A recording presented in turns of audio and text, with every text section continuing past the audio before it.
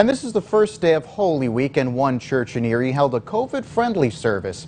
Community United Church on West 38th Street held an in-person and virtual service for Palm Sunday today. More than 20 people were allowed for in-service services, and over 100 people are expected to join via Facebook Live actually have palms that we order in every year, and that's in order to try to kind of recreate his entrance into Jerusalem. But there's an irony to this story because the very people who cheer him on later will abandon him, even his own disciples. McCarty says next week for Easter they will reserve seats for 40 people for their Sunday service.